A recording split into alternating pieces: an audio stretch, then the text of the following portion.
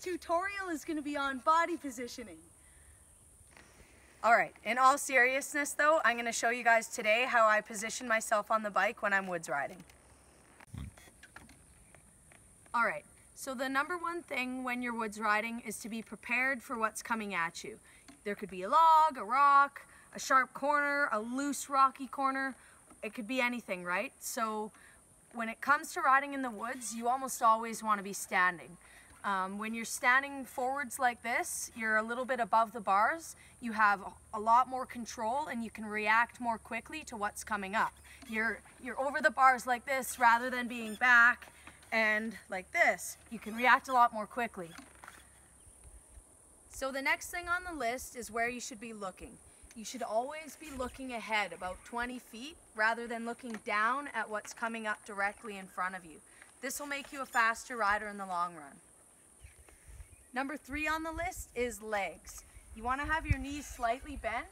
You don't want to be poker straight, otherwise you won't be able to absorb what's coming at you. And you want to have your knees tight to your bike. It helps with control.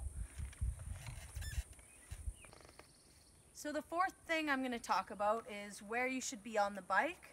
Um, of course, you're going to be moving around a lot on the bike. When, you're, when you want traction, you're going to be farther back. When you're cornering, you could be farther forwards.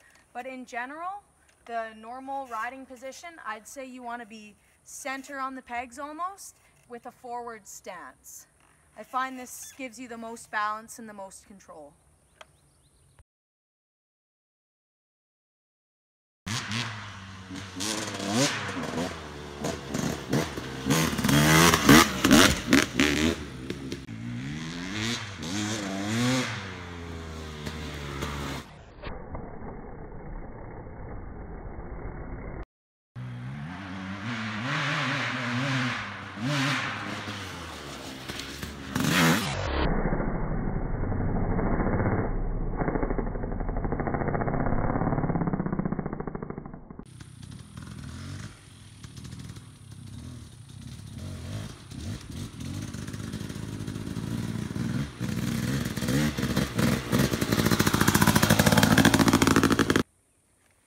Okay, so I'm gonna go into more detail uh, when it comes to body positioning for going down steep hills, uphill climbs, over obstacles um, in, an, in another video. So just let me know in the comments what you guys would like to see and I'll get on it.